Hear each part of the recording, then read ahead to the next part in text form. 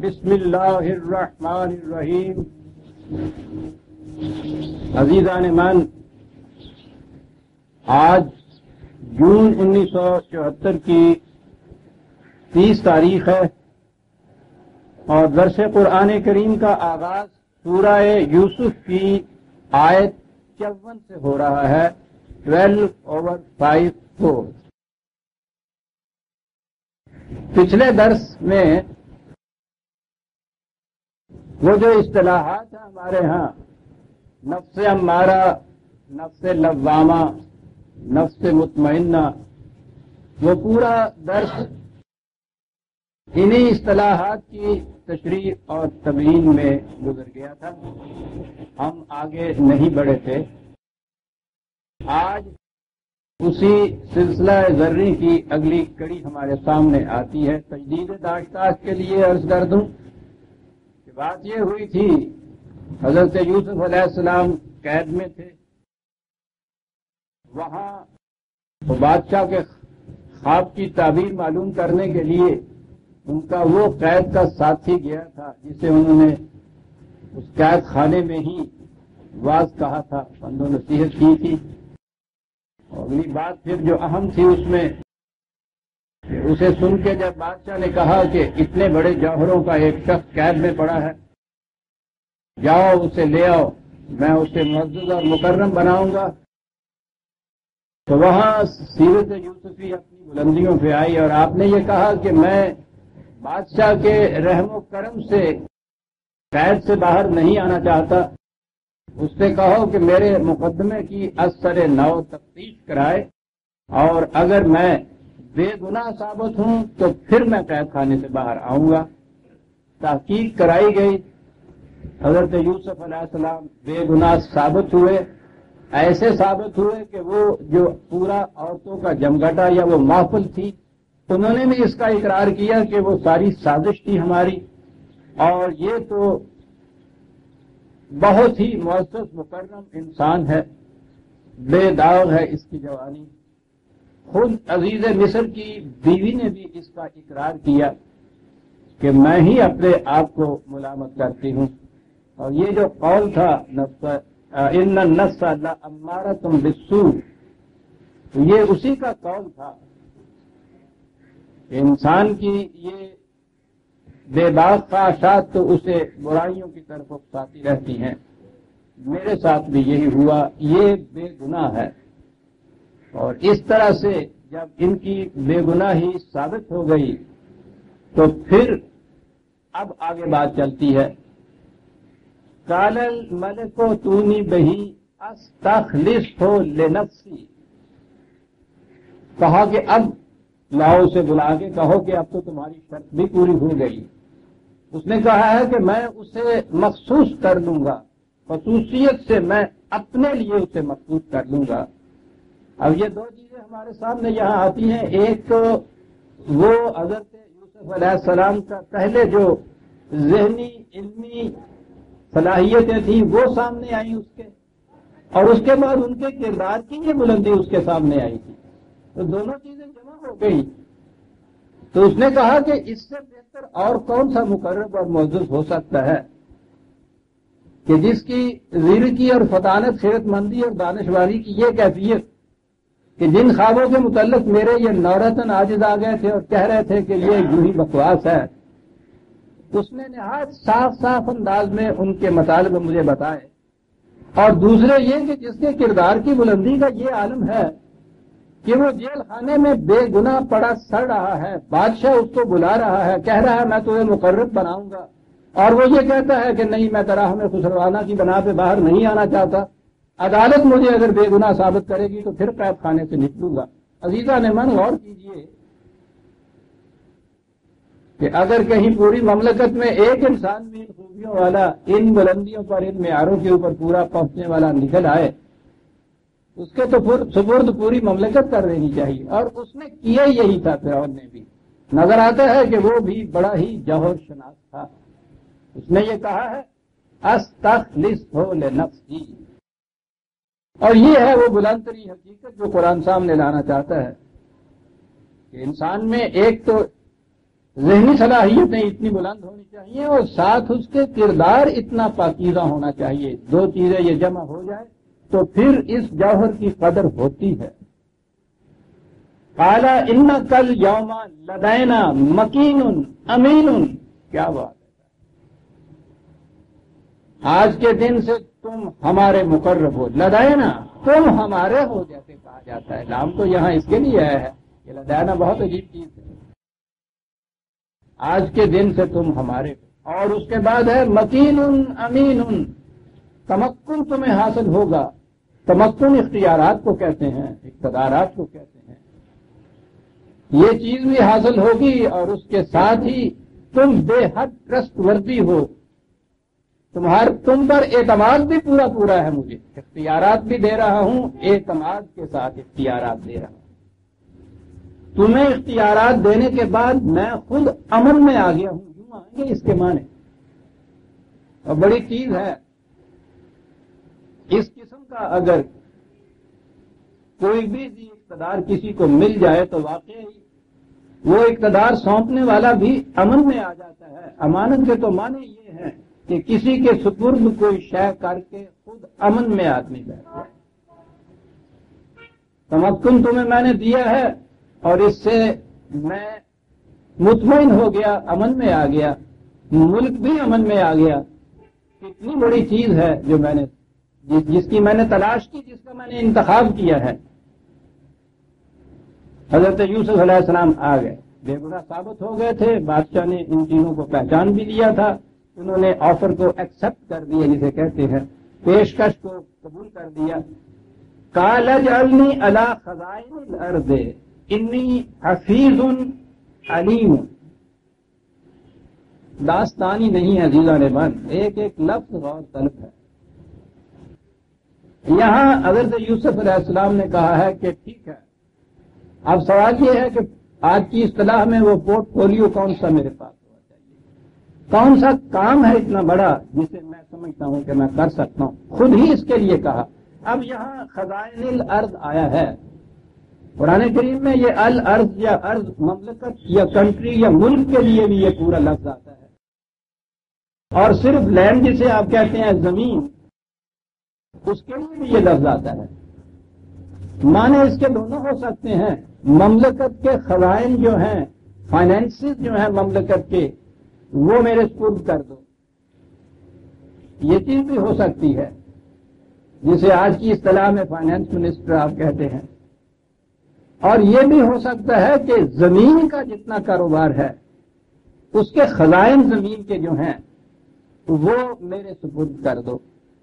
ये माने ज़्यादा तरजीह दिए जाने के काबिल हैं, इसलिए कि वहाँ कहत पड़ रहा था, खुश्क साली थी यही प्रॉब्लम थी वो, जिसके लिए तलाश हुई थी किसी ऐसे शख्स ऐसे शख्स की जो इस मसले को हल कर दे। तो मैं समझता हूँ कि ये माने ज़्यादा मुरक्के हैं कि ज़मीन के बंद, ज़मीन के खजाने मेरे हवाले हवाले कर दो, वो दबे हुए हैं। तुम लोगों को इलम नहीं कि उसे निकाला कैसे जाए।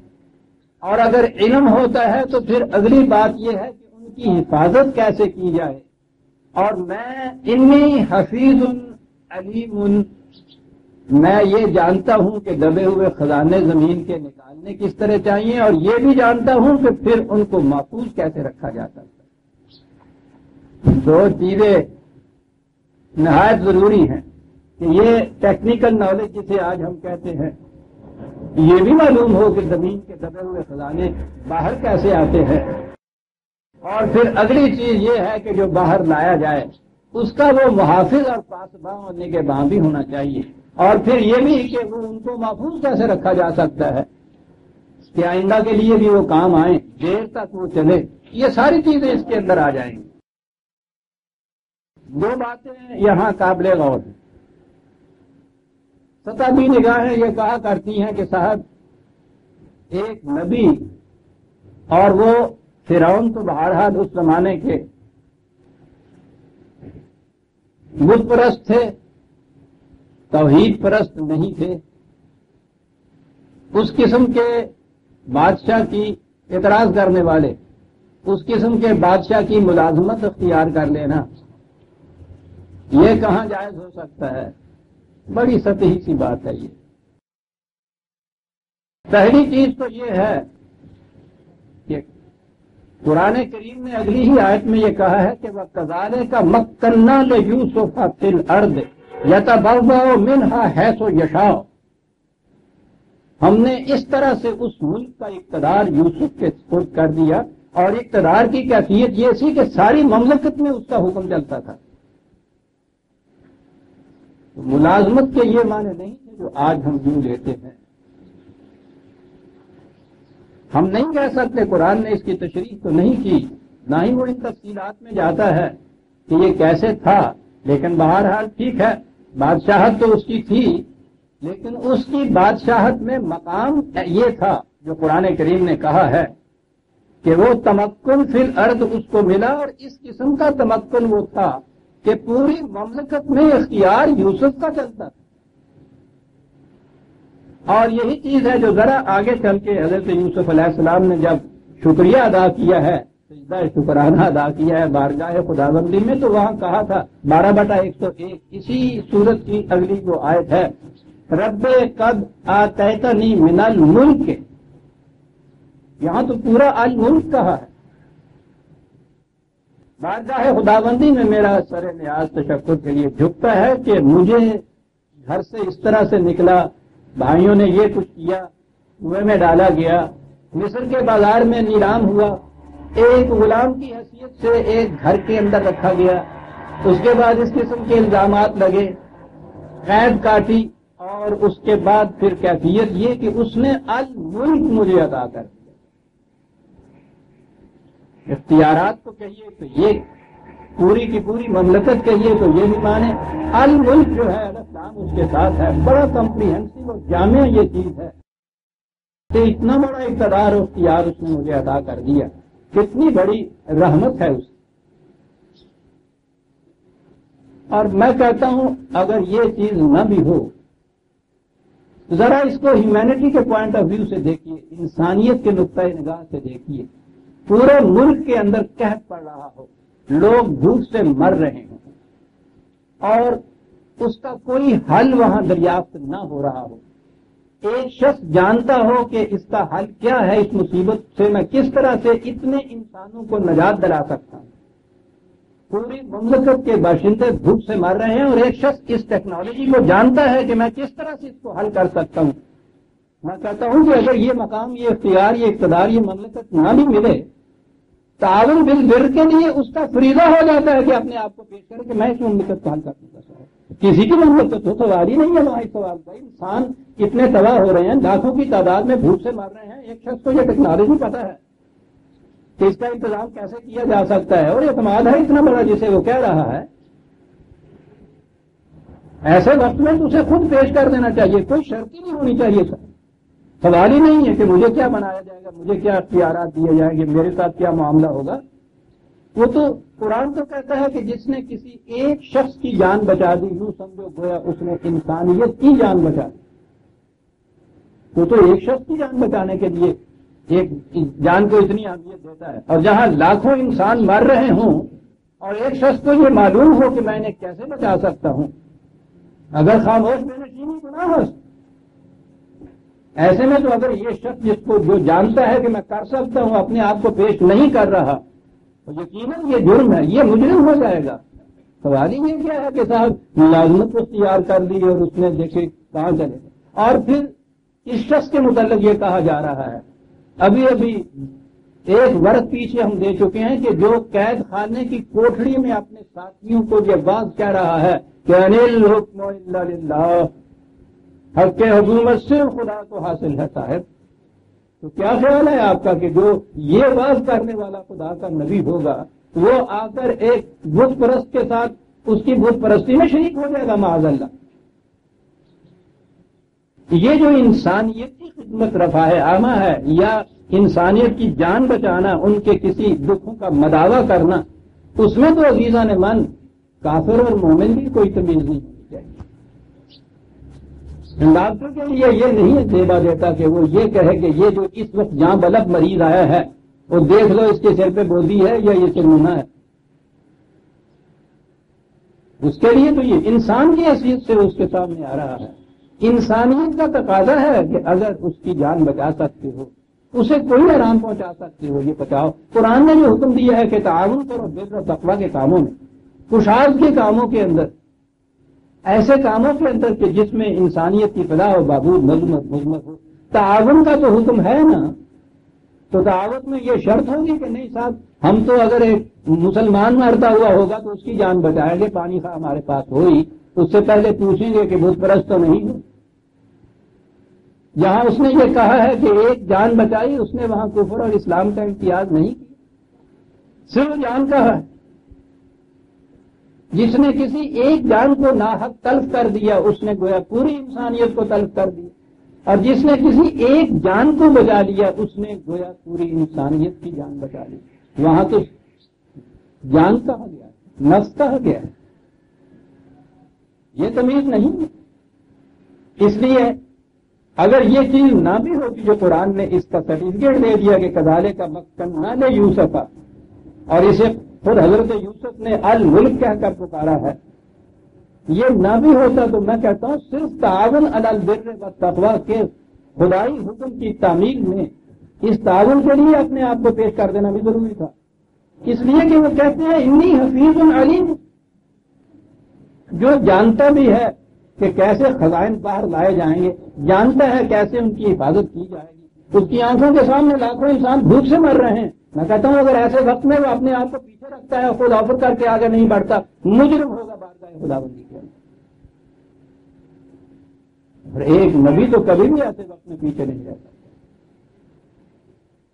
जैसा कि मैंने अर्ज़ किया था, कुरान करीम ने हज़रत यूसुफ अलैहिस्सलाम की दास्तान को महदूद रखा है। इन्हीं वक़ाए वाकयात तक, यहाँ से वहाँ तक वो जाते हैं लेकिन दूसरे मकाम पे एक ऐसी आयत भी हमारे सामने आती है जहाँ ये नज़र आता है कि वो वहाँ बैसियत रसूल के रहे थे।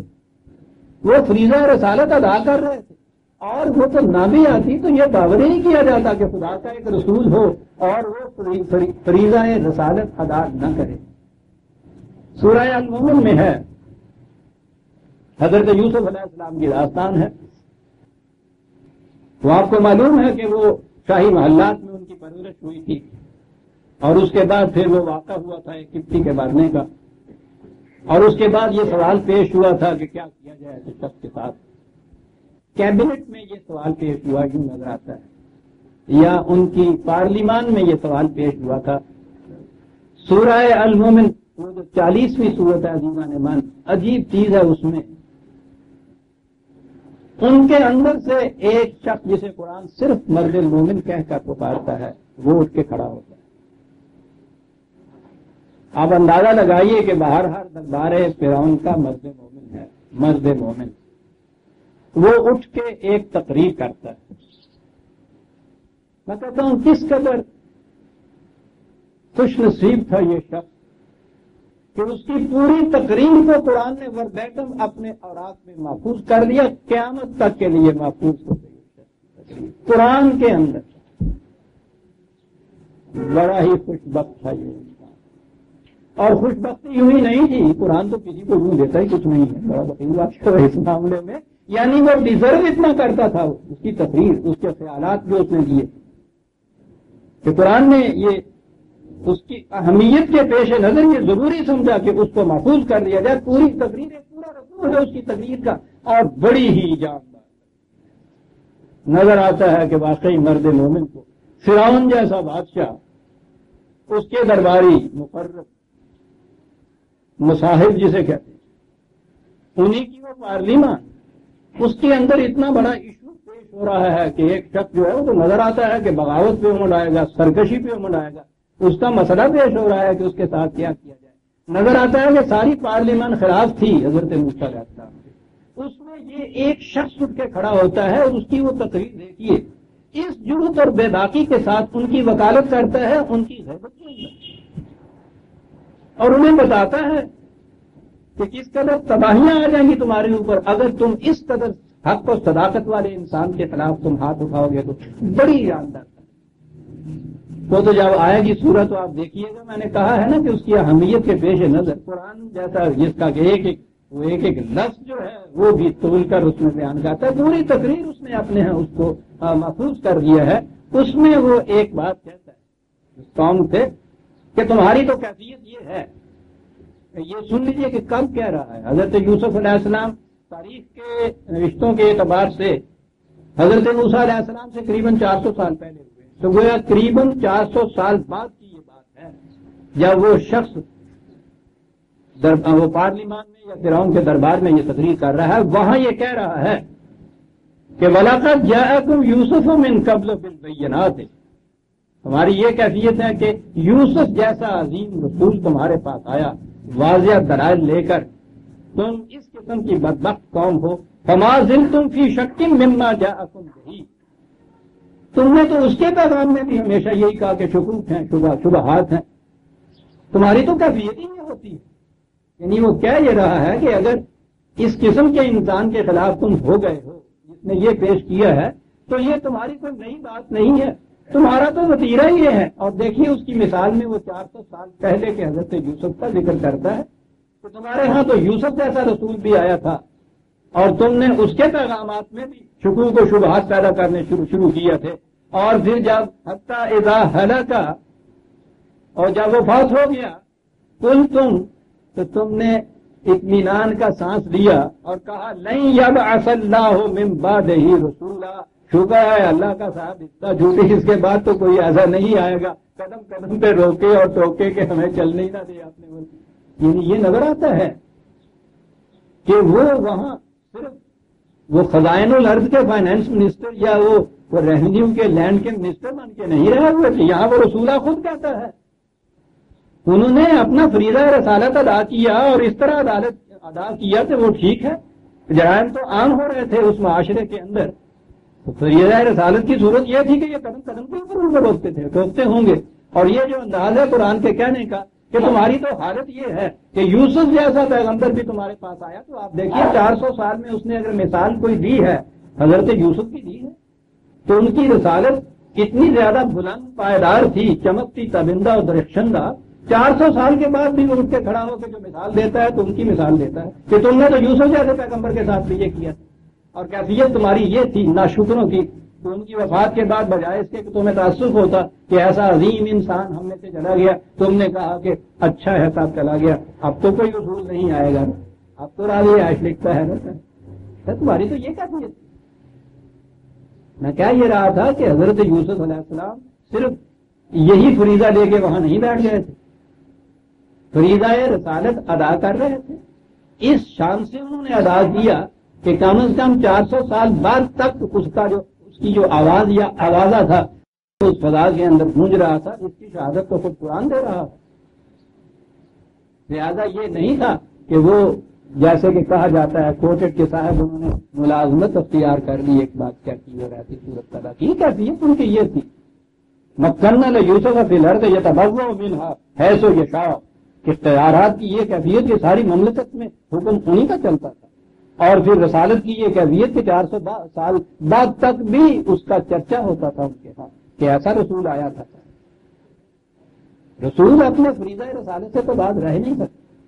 सवाल ही नहीं है कि सूरज हो और रोशनी ना दे हीरा हो और उसमें से जोत उसकी ना निकले। ये तो उसकी जैसे फितरत में दाखिल आप कहते हैं, ये चीज़ होती है। वो जो कैद खाने के अंदर ये फरीदा अदा कर रहा था, जब उसको ममलकत के अंदर इकतदारात हासिल थे तो वो फिर ये फरीजा ही अदा नहीं करता था।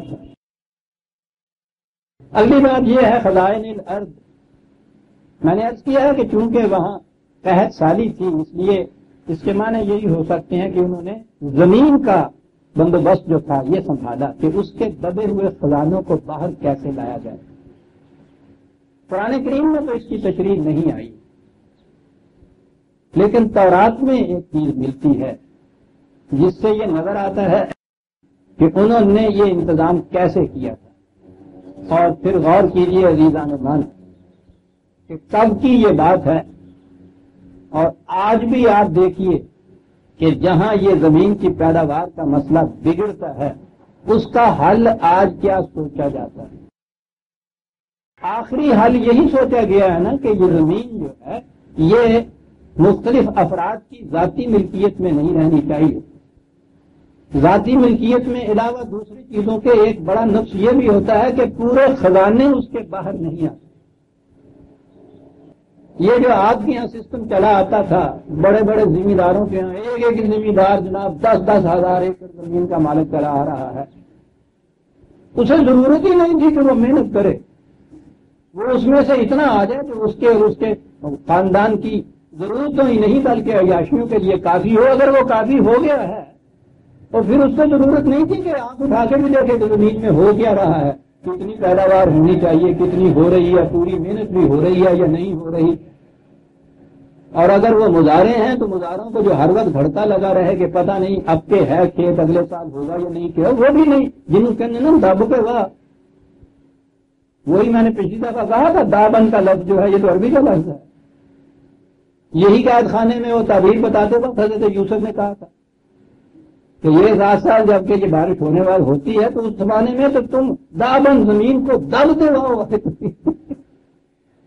कभी बात होगी तो अर्ज़ करूँगा इस पंजाबी ज़ुबान में, अरबी ज़ुबान के बड़े लफ्ज होते है। तो बात ये थी कि ज़मीन के मुतलक उन्होंने क्या इंतज़ाम किया? मैंने कहा है कि आज हम अपने दौर में ये माशीहीन का बहुत बड़ा कारनामा बताते हैं कि उन्होंने ये बात सोची कि ज़मीन अलग जाति मिल्कियत में नहीं, टुकड़ों में बटी होनी चाहिए। उसका इंतज़ाम ममलकत के सुपुर होना चाहिए। यकीनन हज़रत यूसुफ अलैहिस्सलाम ने भी ये इसलिए नहीं कि प्राइवेट जाति मिल्कियत वालों से इसको छीन के स्टेट प्रॉपर्टी बना दिया हो कि छोटे छोटे जिम्मेदारों को यूँ छोड़ो, फिर उससे जो बड़े बड़े वडेरे हैं, उनको भी बेदखल करो और एक वाहक मालिक उसका हो जाए, इससे बदतर तो मलकियत और होती कोई नहीं ज़मीन स्टेट की ममलकत के अंदर नहीं आ जाए, स्टेट के इंतज़ाम में आ जाए। काहे के लिए? बात साफ़ है कि कहत पड़ रहा था तो इन कहत ज़्यादा लोगों की ज़रूरत के लिए ऐसा किया गया था ना? और यही वो चीज़ है जो कुरान कहता है।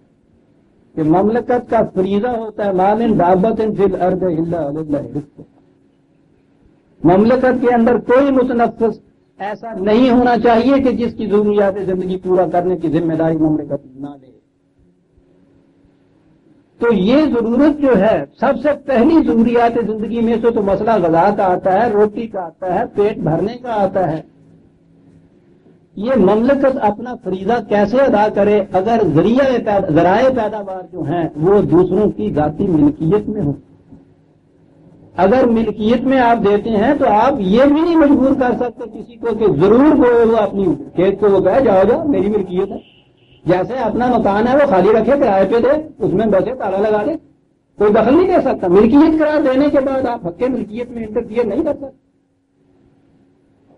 जी चाहे ज़मीन को जोते और फिर जी चाहे तो इतबाकू भी ज़रूरत है आपकी, मुल्क गेहूँ के मारे मर रहा है, बाहर से लगाना पड़ रहा है, इतना अरबों रुपया, करोड़ों रुपया आपका उसको जा रहा है। जाती मिल्कियत वाला कैश क्रॉप माँगता है कि उसमें बड़ा मुनाफा होता है। आप उसे ये नहीं कह सकते जाती मिल्कियत अगर आपने दे रखी है कि नहीं साहब, तंबाकू नहीं इसमें गेहूँ बोना चाहिए। वो उसमें गन्ना बोएगा तंबाकू बोएगा कैश क्रॉप जिसे कहते हैं यानी ये जो चीज़ है, इंतज़ाम के अंदर आना तो पहली बात ये समझ लेनी चाहिए कि ये छोटे सा मालिक, छोड़कर एक बड़ा सा मालिक बनाना नहीं। मिल्कियत का तो सवाल ही कुरान के रूप से पैदा नहीं होता था। आप कर्ज ले रहे या ममलकत क्यों ना ले रहे? इंतज़ाम का सवाल पैदा होता है। ज़मीन का इंतज़ाम इस हैसियत से कि ममलकत के अंदर कोई शख्स हजूर के अल्फाज में सल्लल्लाहु अलैहि वसल्लम कोई शख्स रात को भूखा ना सोए अब ये देखिए कि उस दौर में हज़रत यूसुफ सलाम ने उन हालात में जो वहाँ इस तरह से नहीत हो रहे थे ममलकत के ऊपर, ज़मीन का इंतज़ाम क्या सोचा? ये इंजील या तौरात? उसकी डिस्क्रिप्शन कुछ बड़ी मुबहम सी होती है। एक तो यह कि वो तर्जमा, दर तर्जमा दर तर्जमा और फिर आखिर में आके जब वो उर्दू का भी तर्जमा हुआ है तो वो भी आज से कोई दो सौ साल पहले की बात थी, उसमें हुआ। लेकिन बहरहाल उसमें से कुछ बात पहले पड़ जाती है। तरात में है, तरात किताब पैदाइश बात फोर्टी सेवन सैतालीस। ये जो जिसे तौरात कहते हैं, आपको मालूम है ना कि मौजूदा बाइबल जिसे कहते हैं, उसके दो हिस्से हैं। एक ओल्ड टेस्टिमेंट अहदनामा अतीक, एक न्यू टेस्टिमेंट अहदनामा जदीद। अहदनामा जदीद में तो हज़रत ईसा की तालीम है, उनकी किताब नहीं है। वो रवायात हैं जो उनके हवारियों ने बयान की और मुदवन किया है। हज़रत ईसा की अपनी किताब कोई नहीं, बाकी रही हुई। उसी में उनकी तालीम को बयान किया है, दूसरों ने अपने अल्फाज में। और उसके साथ है, कुछ खतूत हैं, सेंट पॉल वगैरह के। और अहदनामा कदीम वो है कि जिसमें हज़रत यूसफ, हज़रत ईसा अलैहिस्सलाम के पहले अंबियाए बनी इसराइल के, बल्कि हज़रत नूर से शुरू करके उन तमाम की किताबें, वो सारी उस मजमूरे के अंदर है। और ये याद रखिए, इस पूरे मजमूरे को तौरात कहते हैं। उसमें पाँच छोटे छोटे सहीफे हैं जिनको सोफे मूसा कहते हैं। तो ये तस्वर जो गलत फहमी हमारे यहाँ आम है कि तौरात हज़रत मूसा की किताब, ये गलत है।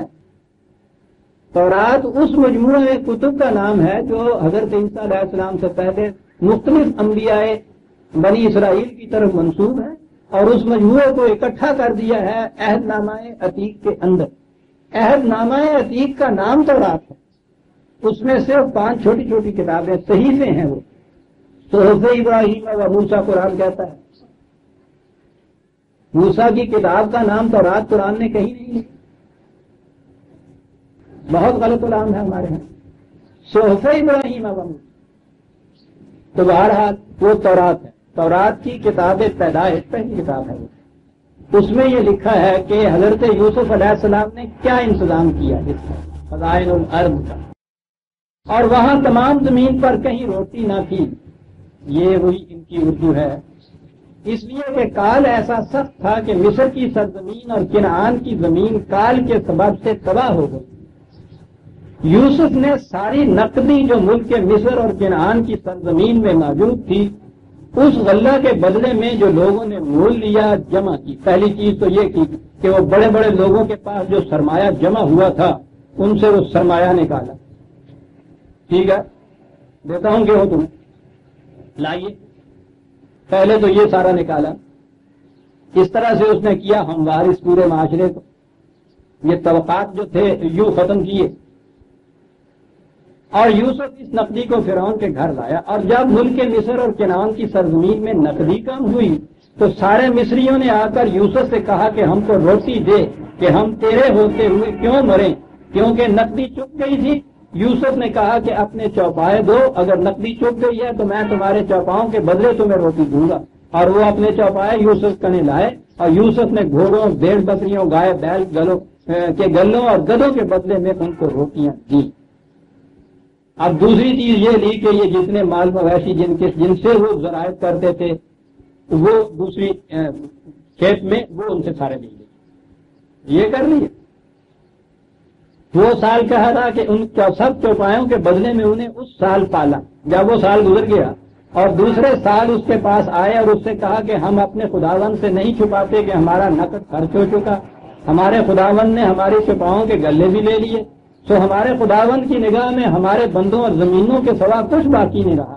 बस हम अपनी ज़मीन समेत तेरी आँखों के सामने क्यों हिलाकों हमको और हमारी ज़मीन को रोटी पर मोल ले लो। और हम अपनी ज़मीन समेत फिर की गुलामी में रहेंगे और दाना दें ताकि हम जिए, वरना हम मर जाएँगे। यूसुफ ने मिस्र की सारी ज़मीन फिर के लिए मोल ले। ये इसी अंदाज से लिख सकते थे फिर के लिए मोल दे दी। यानी वो प्राइवेट मिल्कियत के अंदर वो न रहने दी। देखा किस तरह से आहिस्ता आहिस्ता ये किया कि वो सारी ज़मीन आज के अल्फाज में मैं कहूँगा कि वो अपनी तहवील में ली।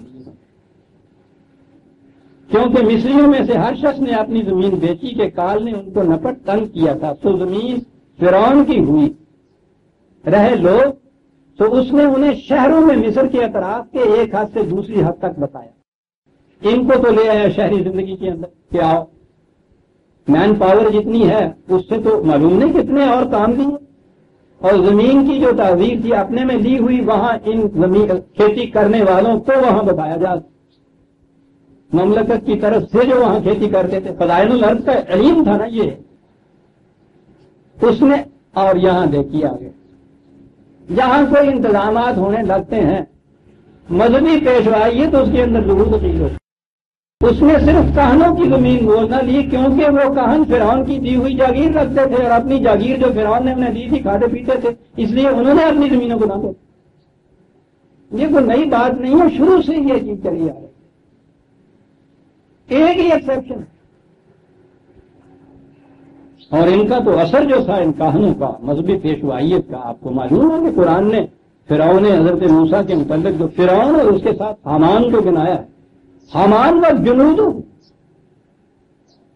हमान और उसके लश्कर, शैतान थे और शुतुंगड़े और उनका असर उस जमाने में, बादशाह उनके सामने कुछ शायद नहीं होते। कल तक अभी यूरोप में चर्च का जो होल्ड था, चर्च का जितना। बादशाह कामते थे अपने महलों के ये तो ये बला होती। है इसलिए कि बादशाह भी अपने ही नाम से कुछ करता है, ये सारा जुल्म सदा खुदा के नाम से करता सिर्फ़ कहानों ने ज़मीन न दी क्योंकि वो कहान फिरौन की दी हुई जगीर रखते थे और अपनी जगीर फिरौन ने दी दिखाते इसलिए उन्होंने अपनी जमीनों को बेचा तब यूसुफ ने लोगों से कहा कि देखो मैंने आज के दिन तुमको और तुम्हारी ज़मीन को फिरौन के लिए मोल लिया। लो, ये बीज तुम्हारे लिए है। खेत बो, और जब ये ज़्यादा हो तो ये होगा कि तुम पांचवा हिस्सा फिरौन को दोगे। चार हिस्से खेत में बीज बोने को और तुम्हारी खुराक को और उनको जो तुम्हारे घिराने के हैं तुम्हारे बच्चों की खुराक के लिए होंगे। क्या बात ये हिस्सा तुम्हारा होगा, तुम्हारे बच्चों, तुम्हारे तुम्हारे बच्चों की खुराक के लिए। और उसके बाद बाकी जो है वो जमा करा हुआ आइंदा के लिए वो बोले कि तुमने हमारी जाने बचाई। अपने हम अपने खुदा की नज़र में मौरद रहम हूँ और हम फिर के खादम होंगे और यूसुफ की सारी मिस्र की यूसुफ के सारे मिस्र की ज़मीन के लिए ये आइन जो आज के दिन तक मुकर है, ये अंदाज़ा लगाइए ये। उसके दिन तक जब से जब ये तौरात मुरतब हुई है वो कहते हैं कि आज के दिन तक यूसुफ का आइन हमारे यहाँ चल रहा है कि फिरौन पांचवा हिस्सा देगा, सिर्फ़ कहनों की ज़मीन फिरौन की ना हुई, बाकी ये थी, ये था वो इलाज जो हज़रत मूसलाम ने किया, खजाए ने अर्द के बरामद करने का और उनके महफूज रखने का। तुम्हारे और तुम्हारे बच्चों की रोटी के लिए जितना चाहिए वो रखो। ये है टुकड़ा असल। और जितना ये बड़े बड़े लोग थे जो वहाँ बैठे हुए, पेट फैलाए हुए थे सबको शहरों के करीब ला के बताया और फिर उनसे ये कुछ काम लिए होंगे। इधर इस आबादी में काम करने वाले पैदा किए उधर इंतज़ाम ये सारा किया कि सरकारी इंतज़ाम के ताबे ज़मीन जोई गई, वहाँ से ये पैदावार हुई, उसको तकसीम किया। उनके और उनके बच्चों की रोटी के लिए और उसके बाद जो कुछ बचा, वो लाया गया फिर की ये था अजीजा ने मन तौरात की रूह से जो इंतज़ाम किया था हज़रत यूसुफ ने। आप देखिए कि ये कब की बात है। तो मैं समझता हूँ कि ये चीज़ें जो थी, वही के रूप से वही में इंतज़ाम दे सकता है। एक रसूल ही इंतज़ाम कर सकता ये चीज़ एक रसूल ही फिर आगे रसूल खातुमनबीन सल्लल्लाहु अलैहि वसल्लम क्या करते कि जिस बस्ती में एक शख्स भी रात को भूखा सो गया, उस बस्ती से खुदा ने अपनी हिफाजत का जिम्मा उठा लिया। वह कदाल का मक्कन्ना ले यूसुफा के घर गए तबावा मिनहा है सो यशाओ। इतना इख्तियार इतना इकतदार, और वाकई वो जो मुहावरे में कहते हैं कि वो रियायत तो इनकी प्रस्तुत करते होगी साहब ऐसे शख्स की। जिसने ये इंतज़ाम किया वहाँ हम बरस रहा होगा उस सरजमीन के अंदर। लेकिन ये इख्तियार फिर क्यों ना उनको मिलता? ये इकतदार क्यों ना मिलता? इस इकतदार और इस इख्तियार के बाद कुरान कहता है, नसीब बेरहमत नामन नशाओ। ये इसे खुदा ने अपनी रहमत करार दिया इकतदार और इख्तियार का मिल जाना जी कौम को, ये खुदा की रहमत है। यहाँ से तो इतने अल्फाज के तर्जमे से तो ये होगा कि हम अपनी इस रहमत को पहुंचाते हैं, उस तक जो चाहता है। मन नशाओ, जिसे हम चाहते हैं। आगे अगली बात, जो हमारे यहाँ बताने की तो साहब, ये तो फिर खुदा की नसीहत पे है। जिसे वो चाहता है, ये देता है। बस तो इस ईंट के ऊपर, बुनियादी ईंट पे उठी मारे तो पूरी आपके यहाँ के मसला है तकलीफ़। लेकिन फिक्रा आधा है अभी। और आपके यहाँ जितने ये बातल के अकायद और गलत नज़रिए कायम होते हैं ना, ये आधी आधी आयत को पेश करने के होते हैं। और उसका हल है पूरी आयत पेश कर दें कहीं बाहर से हल लेने की ज़रूरत नहीं होती। वहाँ से पेश कर दीजिए, या उसके बाद कहीं दूसरे मकाम के ऊपर आयत पूरी उसकी दी हुई है तशरी में, वहाँ से पेश कर दीजिए। यानी हल वही कुरान के अंदर है। और ऐसे मकाम में तो कुरान देर ही नहीं लगाता। उसी सांस में बात कह देता है। यहाँ यह था कि नसीब व बेरहमत में मन नशा हो। ये हमारी बहुत बड़ी रहमत है। हम पहुंचाते हैं उस तक, जिस तक लफ्जी तर्जमा जो लोग करते हैं मन नशाओ जिसको हम चाहते हैं। तर्जमा है, हम अपने कानूनी मशीयत के मुताबिक इसे देते हैं। और कानूनी मशीयत क्या है? वला नजीर अजर मोहसिन जो हुसनकाराना अंदाज से ज़िंदगी बसर करता है, हम उसकी मेहनत को जाया नहीं जाने दिया जाए। ये हो गया साहब। खुदा की तरफ़ से इतनी बड़ी रहमत के मिलने का असूल, कानून और मैार ये हो गया। वही बात कह दी है। लेकिन यहाँ तो यहाँ तक ही बयान करेंगे बरा में तो मन ने कहा, साहब, कुरान से।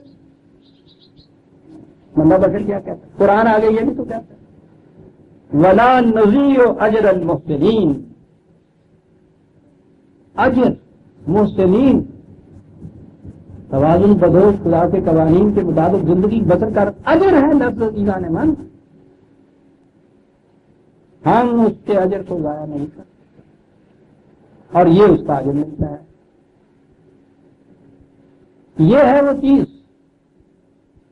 जिमन यहाँ से और बात सामने आ गई। तो कुरान के एक एक बात सामने आती है। इस दौर में जो इस कदर ये आलमगीर फसादात हंगामे शोर अंगेजियाँ लेबर का क्वेश्चन जो पैदा हुआ हुआ है। आजर और मुस्ताजर का। इतनी बड़ी ये प्रॉब्लम है, किसी एक मुल्क तक मौजूद नहीं रही, सारे मुल्क में ये फैली हुई है। क्या चीज़ है ये? क्यों इसका हल नहीं मिल रहा? यहाँ जितने ये काम करने वाले हैं उनके हकूक दिए वो अपने हकूक मानते राइट और ये चीज़ जो है, तस्लीम की जाती है, या इतराफ किया जाता है, कहा यह जाता है कि हाँ साहब राइट्स हैं। हकूक और राइट्स ये आम चर्चा होता है। उनकी जिम्मेदारियाँ और प्राइज रेस्पॉन्सिबिलिटीज एंड अप्लीकेशन किसका कहीं लेकर नहीं जाता ये सारी मुसीबत इसलिए जहाँ आप चर्चा सुनेंगे, वहाँ यही अब चर्चा होगा। सब हकूक है। हकूक है। और पुराने करीम की तरफ़ हम आते हैं तो वो हर हक मुतयन करता है किसी ज़िम्मेदारी के पूरा करने का। और वो हक मुतयन नहीं करता, उस ज़िम्मेदारी के पूरे करने का जो नतीजा या अजर होता है, उसी को उसका हक कहता है। सारे कुरान में देखिए, ये कहा होगा उसने, ये करोगे तो ये मिलेगा। ये करोगे तो ये होगा। सारे कुरान में, पहले ये है, ये करोगे तो फिर ये मिलेगा। तो ये करोगे वाली बात ज़िम्मेदारी तो हो गई ना रिस्पॉन्सिबिलिटी तो हुई ऑब्लिगेशन तो हुई अब हक इंसाफ पर मबनी माशरा वो होगा कि जो उसका होगा कि ये करोगे, ये मिलेगा तो वो मिल जाएगा और हंगामा खेलियाँ ये होंगी कि करेंगे नहीं, मिलेगा ये ज़रूर, क्यों? ये हमारा हक है। यूँ ही आपने राइट्स का तस्वुर आम किया बगैर रिस्पॉन्सिबिलिटीज के और बगैर ऑब्लिगेशन के। फसाद बर्पा होगा अगली क्लास में चढ़ना हमारा हक है। मेहनत करना, ये टम्बकटू में लोग बसते हैं, ये उनका काम हक है राइट्स है। ये एक वबा चला दी गई है दुनिया अंदर। अभी हाल ही में मैं किताब पढ़ रहा था टुकड़ा है उस शख्स का। बड़ी ऊँची किताब है, वो उसने लिखी है। इस मसले पे वो बयान करता हुआ कहने लगा तो नई बातें नहीं है, ये जो आती हैं। वही जो इकबाल ने ये कहा था, वही मरहबी, वही अंतरी उसने कहा कि इससे बेशतर डिवाइन राइट्स ये एक तस्वत है। हकूक खुदाबंदी खुदाबंदी इख्तियार या हकूक। कभी तो ये हासिल हुए थियोक्रेसी में मजहबी पेशवाइयत को, खुदाई इख्तियार। उसके माने ये होते थे कि जब उन्होंने कह दिया कि खुदा के हुक्म से हम ये कहते हैं तुम्हें, हम उसके नुमाइंदे हैं। फिर उसके लिए, उसके बाद ना इतराज किया जाता है, ना तनकीद की जा सकती है सरकती का तो सवाल ही। और मिटाया और बड़े फख्र से आज कहते हैं कि साहब, हमने वो उठा दी बलकू तो उठा दी डिवाइन राइट्स का तस्वर जो था वो खत्म किया। कहने लगे आपने देखा कि वो किस देश में आया है? उसका फ़िक्र है। Divine rights of the masses आवाम के हकूक खुदाबंदी। कहता वो हकूक खुदाबंदी का तस्वर इंसान में से निकाल ही नहीं सकता। कहता मुसीबत ये हुई कि वो अगर थियोलॉजी वो, वो, वो इनकी मजहबी पेशवाइयत की थी उनमें भी पता था कि ये मुतयन तौर पे हैं कुछ में भी पेश है मोनर्की में मलूकियत में थी तो मालूम था कि ये है बादशाही से एक का ही है, कहने लगा, यहाँ मुसीबत ये आ गई। मासे जब आप कहते हैं तो सारी खुदाई जो है उसके अख्तियार खुदाबंदी वो कहा कि इस तस्वर में बदतरीन दौर है जो हमारा दाव। डिवाइन राइट्स के बाद आप सोचते हैं, जब वो कोई बात करते हैं हक की, कहीं आप रीजन के साथ, फ़िक्र के साथ, दलील के साथ कुरान के साथ कोई गुफ्तु कर सकते हैं? हल मसले का जो डिमांड है वो पूरी कर। तो यही होता है ना हक खुदाबंदी कि उसके खिलाफ दलील कुरान नहीं एतराज़ नहीं, तनकीद नहीं, कोई मसालियत नहीं, कुछ नहीं, पूरा कर। आप देखते हैं, कुरान कहाँ ले जाता है। वो हक मुतयन करता है, ज़िम्मेदारी की अदायगी के ज़िम्मेदारी की, फरीजे की अदायगी का नतीजा जो है, वो कहता है हम देते हैं उसको। वो उसका हक होता है हम पर। जो वो करता है, उसका नतीजा हक होता है उसका। वो हम देते हैं। जिमन ये जो चीज़ है हमारे यहाँ, ये मजदूर का और एम्प्लॉय करने वाले का आदत मुस्तजाकर का, ये तो तस्वुर नहीं है कुरान में। ये जितना अमल कुरान में लफ्ज आया है, वो तो कोई खास तबका नहीं है जिसको आप मेहनत का या मजदूर कहते हैं। वो तो हर इंसान के मुतल ये कहता है कि वो आमिल है, अमल करना है उसमें। काम करना है। अब हमारे यहाँ वो काम की भी अलग नौीयत हो गई। यानी एक अलग तबका है काम करने वाला। और वो तबका जो काम करता है, फिर उसकी कैफियत ये है, यहाँ शहरों में तो खैर मजदूर, वैसे मजदूर भी हमारे शहरों के अंदर भी ये इतना बड़ी दलील से इस तरह से पस्तर देगा इंसान। यहाँ तो फिर भी ये लफ्ज था गाँव के अंदर तो हमारे यहाँ ये कामी जो था फिर वो कमी हुआ। कमी जो है वहाँ से कमी हुआ। काम करने वाला।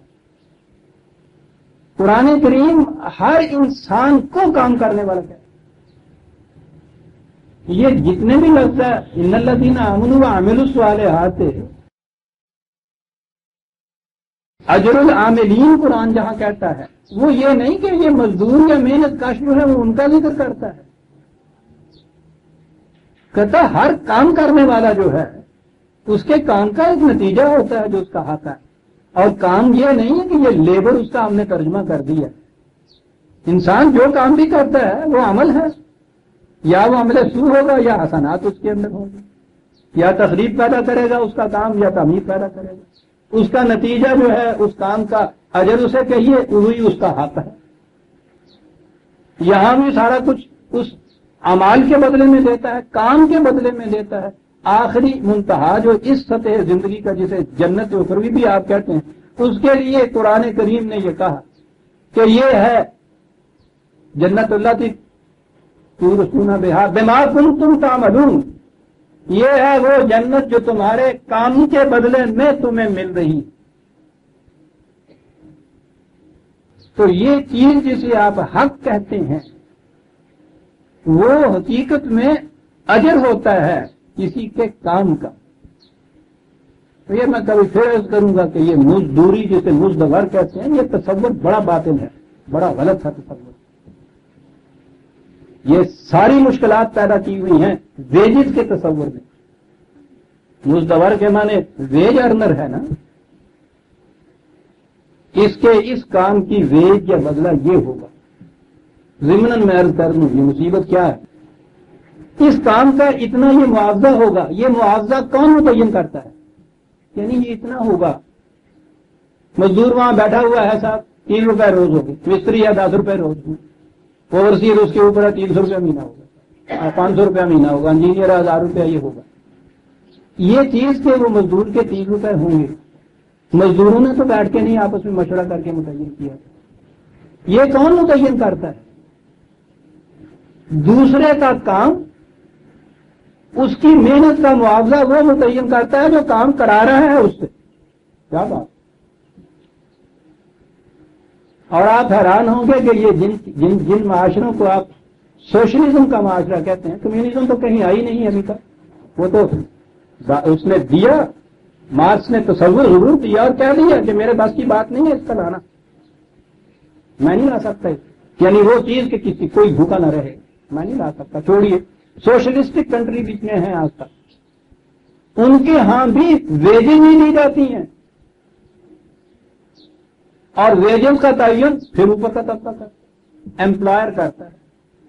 वो एक फर्द का जाति मुलाजम हो, कारखाने वालों के मालिक का मुलाजम हो, और वो स्टेट का गवर्नमेंट सर्वेंट ये स्टेट का जो सर्वेंट होता है, जैसे आप गवर्नमेंट सर्वेंट कहते हैं, वो भी तो अपनी वेज आप नहीं मुकर करता। उसकी वेजेस भी एम्प्लॉयर मुकर करता है। सारी अजम तमानियत जो दुनिया में फैली है, वो ये कि जिसकी वेज आप मुकर करते हैं, वो समझता है आप ये कि वेज मेरी ये थोड़ी। मुकर उसकी की हुई होती। ये जब पूछता है कि भाई वो कितनी वेज जितनी वो माँगता है, वो कहते हैं, हम ये अफोर्ड नहीं कर सकते। वेज का झगड़ा। और वेज जो है, उसके बाद बतौर हक के मांगना, बतौर बतौर किसी ज़िम्मेदारी के पूरा करने के अजर में नहीं मांगना। राइट डिटर्मिन रिस्पॉन्सिबिलिटी नहीं वेजेस सारा किस्सा है अजीजा नेमन वेजेस जो है। ये हल ना सोशलिज्म वो पेश कर सकती है ना कोई दूसरा निज़ाम। ये मसला हल ही नहीं हो सकता जो दुनिया में फैला हुआ है। मसला हल होता है कुरान की तमाम इन इन माशरे में बसने वाले तमाम अफराद की जरूरियात ज़िंदगी की ज़िम्मेदारी ममलकत निज़ाम के ऊपर ये इसका मसला ही नहीं। अमलन नबी अकम सल्लल्लाहु ने करके दिखा दिया, वो तो हमारी बदकिस्मती है कि उस दौर की तारीख से ही हमारे सामने नहीं आ रही। तारीख मुरतब हुई हमारे सरमायादाराना दौर में रूपियत के जमाने में, जागीरदाराना दौर के अंदर। वहाँ वेजेस होकर कहीं छोटे छोटे टुकड़े कहीं हीरों की कनियों की तरह दिखते हुए नज़र आ जाते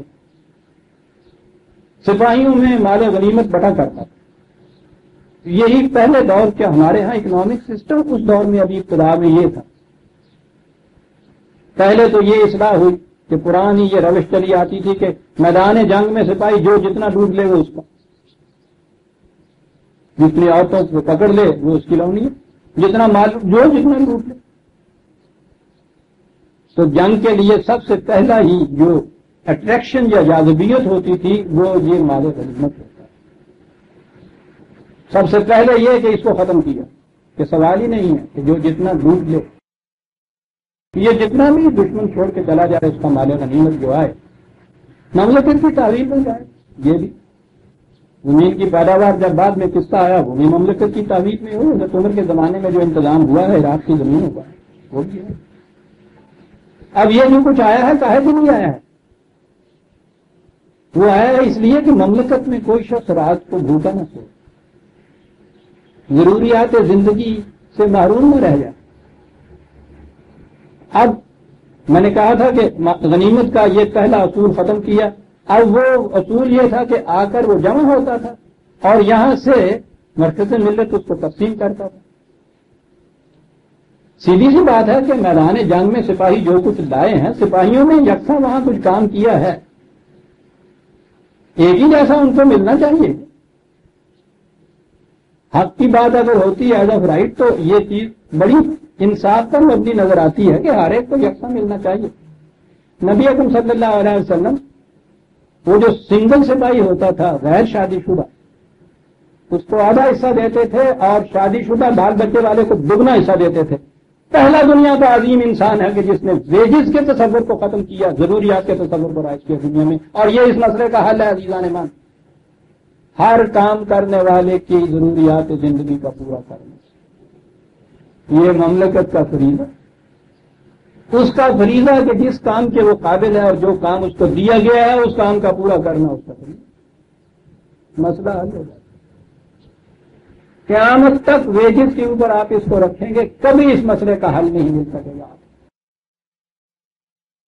वेजिस, फिर राइट्स उसके जो है, वो आ गए आपके साथ नहीं हल मिलता ये जरूरियात ज़िंदगी पूरे करते हैं, अपनी रिस्पॉन्सिबिलिटी के एतबार वो काम करता है अपनी रिस्पॉन्सिबिलिटी के एतबार से। अरे, ये तो ऐसा कुछ माशरा है जिसमें रिस्पॉन्सिबिलिटी रिस्पॉन्सिबिलिटी है। अजीला ने मानो तो उसका सवाल ही नहीं पैदा होता। तो हर ज़िम्मेदारी का जो नतीजा होता है, वो कुछ पैदा करता है। आदिलाना माशरा वो है कि जिसमें ये ऐलान किया जाए कि ला नजी अजर अल मुफ्तरीन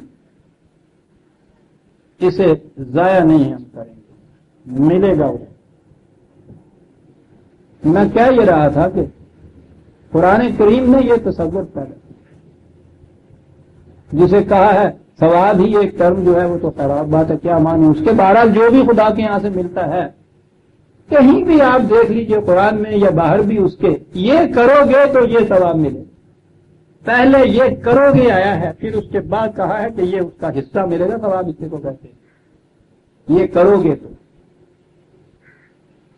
तो करोगे वाली बात बुनियादी है अजीजा ने मन ये है ऑब्लिगेशन रिस्पॉन्सिबिलिटी ज़िम्मेदारी, उसके लिए फिर बाद में आप देखेंगे कि एक हक भी अगर उसे आप कहें तो मुतयन होता है ज़िम्मेदारी के ऊपर। और ये चीज़ है जो कुरान करीम ने कही है।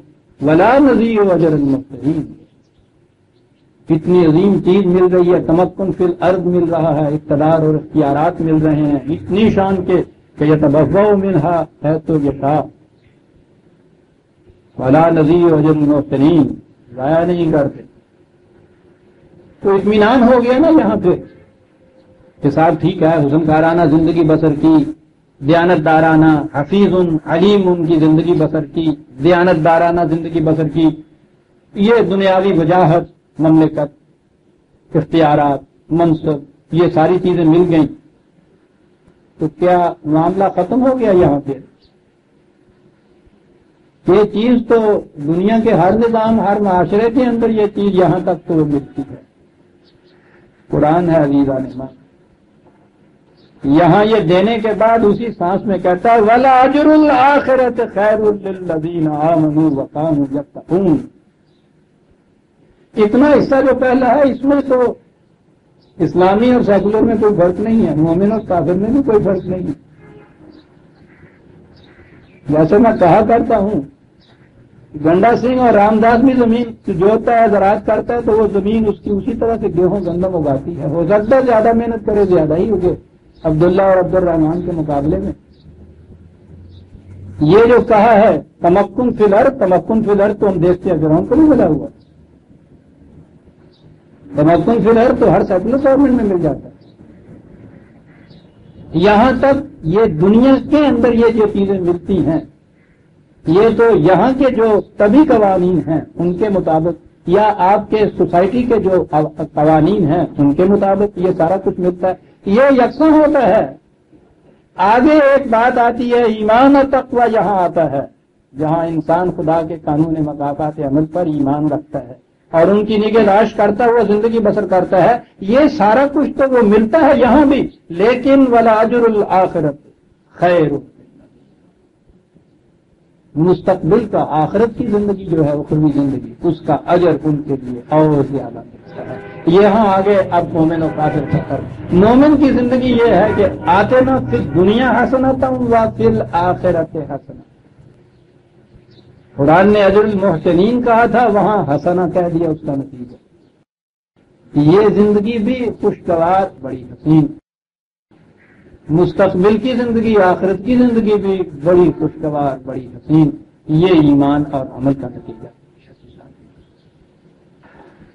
कितना सा टुकड़ा आ गया। हज़रत यूसुफ अलैहिस्सलाम बाहर बंद से आए मुआज हुए। ये ज़मीन के बंदोबस्त का इंतज़ाम अपने इंतज़ाम ज़मीन के खजाइन का अपने हाथ में लिया। इस तरीके से वो कुछ किया। कि वो मुल्क खुशहाल हुआ। फरीजा रसालत साथ के साथ अदा करते हुए चले गए। तमक्न मिला यहाँ और अजरम फिल आखिरा तो कुरान ने कहा। कितना कहने के बाद अब फिर वही दास्तान जो है, कहानी के लिए आ रही है जिसे मैं कहूँ उसका अगला टुकड़ा सामने आ गया। वजह इखवत यूसफा फदहल अलह फारफ हूँ वहम लहू मुमकिन। कह तो आलमगीर था वो एक ही ममलकत थी, ये मिस्र की और जरा सी रेस थे इस इस बैराकुलजम से उस पार का ये इलाका, किनान का इलाका जिसे कहा जाता है, बैतुल मुकद्दस तक का इलाका। तो वो भी कहत के मारे हुए, वो भी गल्ला लेने के लिए आए यहाँ। तारफ हूँ। यूसुफ ने तो उन्हें एक नज़र में पहचान लिया। कि वो तो वही भाई थे, जहाँ उन्होंने इसे छोड़ा था, कुएँ में डाला था। उनमें तो कोई तगैर नहीं आया था। लेकिन ये यूसुफ तो वो यूसुफ नहीं था जिसे उन्होंने कुएँ में फेंका था। क्या बात है कुरान की? मैंने कहा था ना कि जस्टिसनेस इसमें बड़ी अजीब होती है। कि इन्होंने तो आसानी से पहचान लिया। उनके वहमो गुमान में भी नहीं हो सकता था कि ये ममलकत के इकतदारात का ये मालिक जिसके पास हम आए हैं, ये गला लेने के लिए, ये वो हो सकता है। फहुम लहू मुनकरून। वो से नहीं पहचान नहीं जान सके ये कौन है। मालूम होता है कि ये वहाँ पहचान तारुफ जो था, वो उर्दू के नाम से ही होता था। Chief secretary, under secretary, general secretary, minister का रेवेन्यू।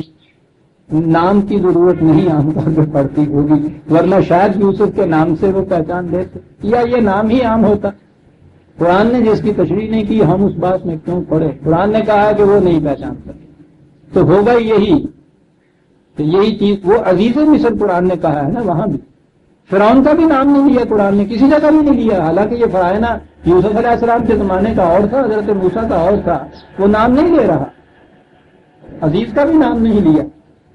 तो मुमकिन है इस हसीयत से वो आए हों उन्होंने नहीं, नहीं पहचाना। वलम्मा जहाजा हूँ बेजहाज हिम वो जब सामान उनका लदवा दिया यूसुफ ने, यानी ये कुछ किया अपनी जेर निगरानी।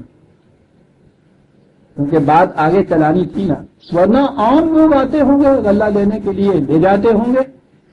वो जहाजा हम बे जहाज़ हिंद कहा है। उनका माल जब लाद दिया।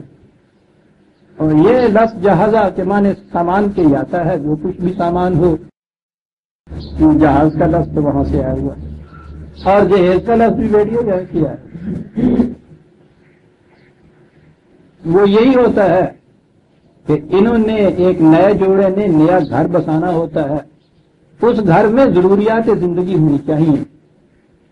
तो ये जो जरूरियात ज़िंदगी इनकी होती है उस घर में, वो लड़की साथ ले जाती है। वो चूल्हा और चक्की और साफ़ और मिट्टी ये उसका जहेज कहलाता ये कोई फरीजा नहीं है कुरान की रूह से। कोई ज़रूरी चीज़ नहीं है सब। कहाँ से बात चली थी ज़रूरी आते ज़िंदगी से? कहाँ अब आके टिकी है सौदाबाजी से? लड़की है, ठीक है जी। एम ए भी है, पढ़ी लिखी भी है, ठीक है जी। सास क्या दोगे? ये है जहेज। इतना ज़रूरी कि जो गरीब बेचारा इन मतालबों को पूरा नहीं कर सकता उनकी बेटियाँ घर में बैठी हुई बाल सफ़ेद हो जाती है। खामोश कब्रें। हमारा माशरा की ज़ुबान पर एक लफ्ज नहीं सकती। लेकिन ये सोजे दुरू हड्डियों के दूधों तक को जला के रख देता है। जहेज अल्लाह वो महर जिसके मुतलक ताकीद थी कि ये अदा करना है तुमने निहलतन सोफतन खुशगवारी से अदा करना है उसे। उसकी तो ये कैफियत के साथ कितना मेहर साहब लाख लिखवा लीजिए क्या मियाँ कोई इतनी हसीयत, ये सब कुछ करने के साथ तो ये तो एक रस्म है, पूरी हो रही है, कौन अदा करता है? कुरान की रूह से वो फरीला है, उसके बगैर नकाह नहीं हो सकता। उस तोहफे के बगैर। वो भी ये चीज़ नहीं है कि साथ एक रस्म है लाख रुपए की अता करना है तोहफापन देना है। कुरान ने वज़न बताया था मुकाबले में मर्द के औरत का, कि इसमें अगर दोनों पलड़ों में बैठोगे तो उसके साथ तुम्हें कुछ रखना पड़ेगा, जब तुम्हारा वज़न उसके बराबर होगा। वो जो फरीजा है खुदा की तरफ़ से वो तो रस्म बन के रह गया। और ये चीज़ कि जिसका कहीं ज़िक्र तक भी नहीं है कि ये कोई वाजिब फरीजा है माँ बाप के ऊपर के वो साथ दे, इस ख्याल से कि लड़की ने नए घर में जाके घर बसाना है, रात ही तो अपनी रोटी पकानी है, एक तवा एक चिमटा चूड़ा दे देते सुन्नत रसूल्ला के इतबा के ऊपर इतना ज़ोर, बड़े ज़ोर शोर से कहेंगे कि हजूर ने अपनी चाहे की बेटी हज़रत फातिमा कुबरा रज़ी अल्लाह तला को एक कटाई एक चूल्हा, एक एक चिमटा, एक चक्की। बड़े पकड़ और इधर साथ इसके सौदा हो रहा होता है। एक कार, एक कोठी, इतनी ज़मीन, इतना नकद सारे का सारा। इतबा सुन्नत रसूल्ला लफ्ज आ गया था, जहाज़ का बेटा। उसमें मैंने ये कहा कि ये थी जिसे, जहाँ से लफ्ज जहेज निकला था, कोई सामान। जब उसने उनका सामान लटवा दिया का लो सूनी बे अखिल लकुम मिन अभी कुम यहाँ से पता चलता है कि सुतेला भाई था, वो जो पीछे रह गया था। यूसुफ भी सुतेला भाई था। मैंने आपसे कहा है ना कि इनके सुतेले होने के मुतलक तो इन भाइयों ने जो एक गहरी निश्चित चुभोई थी उस मजलूम बाप को, बेटों के फराक में, बेटे जो जिसकी आँखें खुल गई। उस बाप के पास जब गए हैं, यही जो बेटा यहाँ छोड़ गए थे और यहाँ फिर वो कटोरे का वाक़ा आगे आता है। कैसा पहले भाई के मुतलक जाके झूठ मूठ का वो वो दमे तेजर जो था, कुर्ते पे लगा के ले गए थे। कहा था कि भेड़िया खा गया, इसके मुतलक भी ये बात कहनी थी कि उसने वहाँ चोरी की। कुरान के लफ्ज अजीजा ने मान एक एक लफ्ज उसमें कुरान ने ये कहा है कि बाप से आके कहा उन्होंने कि तुम्हें पता है कि तुम्हारे बेटे ने क्या वहाँ किया? तुम्हारे लाल ने वहाँ क्या चाँद चढ़ा दिया? तुम्हारे बेटे ये नहीं कहा हमारे भाई ने क्या किया? क्या बात है कुरान? बड़ा फ़र्क इसमें पैदा हो जाता है। हमारे भाई ने ये तो बहुत हल्के न आए हुए जिसे कहता है, वो बनते उस बाप से आगे जो पहले इस गाँव में मरहूम बैठा है। पहले बेटे के गाँव में आके क्या हो गई है? दूसरा बेटा है, वो भी वापस नहीं आया। और आते ही उससे ये कहना कि जी, देखा आपके चहेते लाल ने क्या चाँद चढ़ाया वहाँ? तो जब भी उस बाप ने कहा था कि मैं क्या कर सकता हूँ सबर ज़मीन। तो ये नज़र आता है कि उससे कहा, तुम्हारे अपना भाई नहीं कहा यहाँ भी ये कहा है, हज़रत यूसुफ ने उनको तुम्हारे बाप की तरफ़ से जो तुम्हारा भाई है, उसको ले आना। अला तराओ ना अन्नी तूफिल कैला व अना खैर मुंजरीन ये तो कम अज कम तुमने देख लिया कि यहाँ जुल्म और इस्तेदाद नहीं। मेरे मुतलक तुमने यहाँ रह के देख लिया। मुंजलीन मेहमानदारी की की हो गई? तुमने ये भी देख लिया कि मैं अच्छा मेहमान नवाज़ वाकई ये भी तुमने देख लिया कि मैं वज़न गल्ला भी पूरा देता हूँ उसमें भी डंडी नहीं मारता। और ये भी तुमने देख लिया कि अच्छा मेहमान नवाजती हूँ। तो जहाँ ये सूरत हो, आपके आना तो अपने उस दूसरे भाई को भी ले आना। इन लमता तू नी बही, अब जरा सा ताकीद के साथ, सख्ती के साथ कहा, अगर ये चीज़ तुमने ना की, फला कैला लकुम हिंदी वला तकरबून दो चीज़ें थी ना ऊपर, कि वज़न भी पूरा देता हूँ, मेहमान नवाजी भी करता हूँ। अगर तुम उसको साथ ना लाए, ना गल्ला मिलेगा, ना मैं करीब आने दूँगा तुम। दोनों चीज़ें की कालू सनो राजे तो अन हो अबा हो व इन्ना ये लफ्ज पहले आ गया है ना, जो मैंने कहा था रवादत किसी को उसके इरादे और फैसले से फिरा देना। इरादा तो यह है, खुद इरादा करना किसी बात का। और यह है कि किसी ने जो इरादा किया हुआ हो, उस इरादे से उसको कुछ ला देना। ये लफ्ज आया था वहाँ जहाँ हज़रत यूसुफ अलैहिस्सलाम उस कमरे में उसने बंद कर दिया था जलीफा उसकी अज़ीज़ मिस्र की बीवी ने। और वहाँ ये चीज़ थी कि उसने बहुत चाहा कि यूसुफ को उसका जो इरादा था डिटर्मिनेशन था कि नहीं, मैं इस तरफ़ नहीं आऊँगा। उसको वहाँ उस इरादे से कुछ लाने की बड़ी कोशिश की। अजीब ज़ुबान है ये अजीजा मान वो एक ही मादा इसका होता है, उसके ऊपर जाके जब जरा से बात बदलते हैं तो मानी अजीब गरीब इसके हो जाते हैं। यहाँ भी उन्होंने ये कहा है कि उम्मीद तो नहीं पड़ती। इरादा उसका हम जानते हैं, फैसला उसका जानते हैं। पहला बेटा खोने के बाद वो उस बेटे को तो नहीं जुदा करने का। हम कोशिश करेंगे कि उसको उसके इरादे से भुतला सकें। और उसके बाद कहा कि वह इन्ना लफाइलून घबराओ नहीं। हम ये कर सकते हैं। अंदाज़ा लगाइए। बाप के मुकाबले में अपने मुतल क्या चीज़ हो सकती है। हम कर सकते हैं ये बात। ठीक है? रजामंदी से नहीं देगा तो ठीक है। तो कहा था, नहाने उसबत वो हमारा जत्था है। इनका क्या है? ये उस दौर से बात चली आ रही है। इन शरीका क्या निर्णय करा हुआ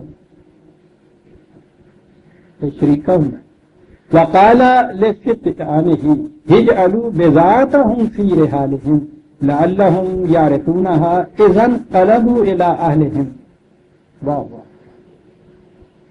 अपने काम करने वालों से, कारिंदों से कहा, बेजात. वो जो इनकी पूंजी थी, जो वो लाए थे, जिसके मुआवजे में ये दिया है, कहा कि वो इनकी इन बोरियों में क्या बात है साहब एक नबी इस तरह से छुपाओ कि यहाँ ना इनको पता चले कि वापस दिया जा रहा है। यूँ इनके सामने ये एहसान हो जाएगा। मुमकिन है कि इनकी निगाहें इसको कबूल न करना चाहिए। दिखा के ना ये करना। ऐसा करना कि ऐसा छुपाना। और ऐसा भी ना छुपाना कि वो छुपी रह जाए। इस अंदाज से छुपाना कि यहाँ तो इनको ना मालूम हो। वहाँ जाकर जब इसको वो खोले तो वो वहाँ से इनको मिल जाए। इजान अलग आहले घर वालों के पास वापस जाए तो वहाँ वो इनमें से, इनकी गोरियों में से वो मिल जाए। लाला हूँ यर्ज हूँ मैं ये इस वास्ते भी करना चाहता हूँ पे लालच पे लालच दिए जा रहा हूँ। उस भाई को ले आए साथ अपने इसलिए कि ये जो अगली कड़ियाँ हैं दास्तान की, वो उसी सूरत में पूरी होती हैं कि वो भाई भी यहाँ आए इसके साथ। फलम्मा इला अबीहिम कालू, या बना मुनिया कैलो माना अखाना नक्सल अब ये चीज़ बजाहर बड़ी लजाजत से कही जा रही है। कि अब आज आप देखिए ना, उसने हमसे कह दिया कि आइंदा तुम्हें गल्ला नहीं मिलेगा जब तक अपने भाई को नहीं लाएँगे। मन में चोर पहले भाई के साथ जो कुछ किया हुआ था। इस तरह से दलेरी से कह सकते कहा यही कि उसने कहा यह है कि गल्ला नहीं मिलेगा। यानी वो उसकी जो मजबूरी है ना, वो बुज़ुर्ग खानदान की, उसने तो बूढ़े ने पालना है सारे घर को। घर की परवरिश उसी गले से हो सकती खुद वो जा नहीं सकते लेने के लिए, जाना इन्होंने ही है। उनकी दुखती दुखती रात को पकड़ते हैं। तो उन्होंने कहा कि गला नहीं मिलेगा। अब आप सोच लीजिए देखा क्या अंदाज है कुरान का दास्तान बयान करने को तो उसने कहा कि गला नहीं मिलेगा, इसलिए हमारे भाई को साथ भेज दीजिए नक्सल ताकि हम वहाँ से गला लाए। और वो फिर मन का जो जमानत देने वाली बात वह इन्ना लहू हाफिजून कसम खुदा की, हम बड़ी हिफाजत करेंगे। जैसी पहले की बात, उस वक्त भी तो ये कस्में उठा के गए थे। हाँ बिल्कुल साहब। काला हल आमनुकुम अलह है इल्ला कमा अमिन तुकुम अला अखी मिन कबलो। अच्छा ये कस्में उठाई जा रही हैं। मुझे यकीन दिलाया जा रहा है कि मैं उसी तरह से तुम, तुम्हारी इन कस्मों पे एतबार कर लूँ, तुम्हारी जमानत को कबूल कर लूँ, जैसा इससे पेशतर वो इसके भाई के मामले में मैंने किया था। यही बात है। खैर फल्लाह खैर हाफिज। नाम है खुदा ही बेहतर निगेबान है। तुम कहते हो कि हम इसकी हिफाजत करेंगे। इसको यही रहने दो अल्लाह की इबादत में। मैं इन्हें तुम्हारी हिफाजत में नहीं लेना चाहता। वह अरहमराहमीन अल्लाह नहीं मिलने की तुम बात कह रहे हो। ठीक है, सोचेंगे, वो बहुत अरहमराहमीन है। कोई और रास्ता इसके लिए निकलेगा, निकाल लेंगे, सोच लेंगे। लेकिन हिफाजत में इसको खुदा ही की रहने दो। वलम्मा फतह मताहम वजदू बेजातहम है इस कदर खूबसूरत अल्फाज। ये बातें उन्होंने आते ही की, सबसे पहले यही बात की, अभी वो खोली भी नहीं थी अपनी बोलियाँ। और उसके बाद कुरान कहता है। देखिए ना कि उन्होंने एडिशनल आर्गूमेंट जो है, ये है साहब अंदाज बयान करने का। पूछिए आज किसी लिखने वाले से, वो अप्रिशिएट इसको कर सकता है। पहले आते ही जो चीज़ें उन्होंने कही हैं, वो सिर्फ़ ये कि गल्ला इस सूरत में मिलेगा कि इसको भेज दीजिए, नहीं भेजेंगे तो गल्ला नहीं मिलेगा। इतने के ऊपर नज़र आया है कि वो कारगर नहीं हुई दलील कुछ ज़्यादा मोहकम नहीं हुई, मीनान बख्श नहीं हुई। अब अगर ये सारे तर्कश के तीर पहले ही से निकल आते तो इसके बाद मामला खत्म हो जाता। वो ये बात जो है, यानी ये इतफाकन सही, क्योंकि उन्हें तो पता नहीं था कि बोरियों में क्या है। लेकिन बात का अंदाज यूँ चला आ रहा है कि पहले इतनी सी बात ही हुई और उन्होंने इनकार किया तो खैर, इन्होंने कहा कि अच्छा चलो भाई, ये गला तो खोलो। फलम्मा फतह मता जब उन्होंने उसे खोला वजह बिदा। देने वाला इस अंदाज से देता है हकीका निमान देता है और उस पर पूंजी और सरमाया भी लौटा देता है। खोला उन्होंने तो उसमें अपने सरमाए को भी छुपा हुआ पाया। रुद्दत रहे जो उसने वापस कर दिया कालू या मना मान अरे अब्बा जान देखो। आ गया ना एडिशनल आर्गूमेंट दूसरा। मैंने कहा है ना कि हमारे यहाँ जिन अहले बरागत ने यह कहा है कि सिर्फ़ बरागत और फसाहत के एतबार से भी कुरान का जवाब नहीं। हम तो ये मानते हैं कि कुरान हदायत के एतबार से बेमिसल, बेनजीर है। इसमें शुबा नहीं है कि वाकई ये अपने अंदाज बयान के एतबार से भी बेनजीर है। और ये भी है कि बड़ी बड़ी कोशिशें की गई इसके मुतल कि ये अंदाज बयान ही है और अरबों के यहाँ तो आप पूछते हैं, लिखने वाले उनके यहाँ के तो बला के कम वक्त पतीब और वर्री ने तो ये रसाला तो गुफरान जो लिखा है, वो कहा हुसैन पूछिए, वो क्या कुछ उसके मुतलक लिख रहा है? कि क्या अंदाज है और कहाँ तक वो पहुँचा हुआ माजल्ला वो तो मिसर करार देता है। लेकिन खुद मोहरी को भी इसका एतराज़। कि नहीं अम्मा तू चीज़ें दी गई और वो सामने आता है, ताला तो नज़र आ जाता है। तो अंदाज क्या है कुरान का? यानी खुद अंदाज बयान की भी ये सूरत है।